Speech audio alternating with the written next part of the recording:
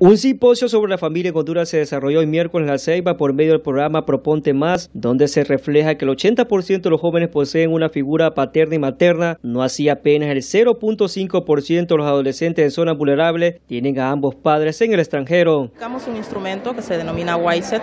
A través de este instrumento nosotros eh, logramos eh, segregar a las familias por niveles de riesgo. Entonces se pudo identificar en qué nivel de riesgo se ubican diferentes familias y poderles dar específicamente la intervención que amerita para cada nivel de riesgo en el cual ellos se ubican.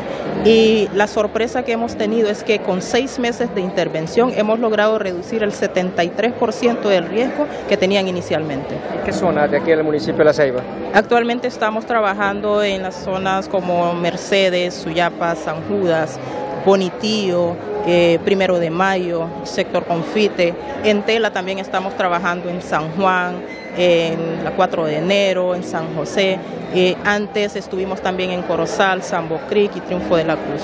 Con los datos obtenidos de la investigación, representantes de la USAID esperan que el gobierno tome acciones y recomendaciones del hallazgo obtenido en los cinco municipios vulnerables que se ha venido trabajando en el tema de familia, como La Ceiba, Tela, Choloma, Tegucigalpa y San Pedro Sula. Que por varios factores hay un intento de desarticular lo que es la familia tradicional, o sea, pero hay también muchos intentos de mantenerlo unido.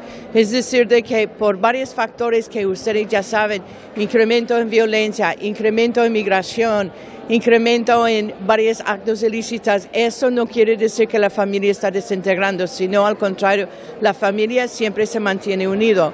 Si lo digo eso, aunque suene sencillo, ¿por qué? Por una razón. Es porque nosotros antes creemos de que cuando se migra la gente, o sea, desarticula la familia, a lo cual no es cierto. Además, en la jornada donde participaron expositores nacionales, internacionales y una universidad del país, se analizó la migración de la familia, ya que 8 de cada 10 jóvenes no están involucrados en conductas peligrosas. Una estructura que hay miembros que viven en un país y miembros que viven en otro. Eso se reconoce como una familia transnacional. Lo que yo voy a presentar es las fortalezas de esas familias, que el narrativo público es que si una familia vive en distintos países, es una familia problemática. Los datos implican lo opuesto. Para Telenoticias les informó, seguí en cámaras Ronald Hernández.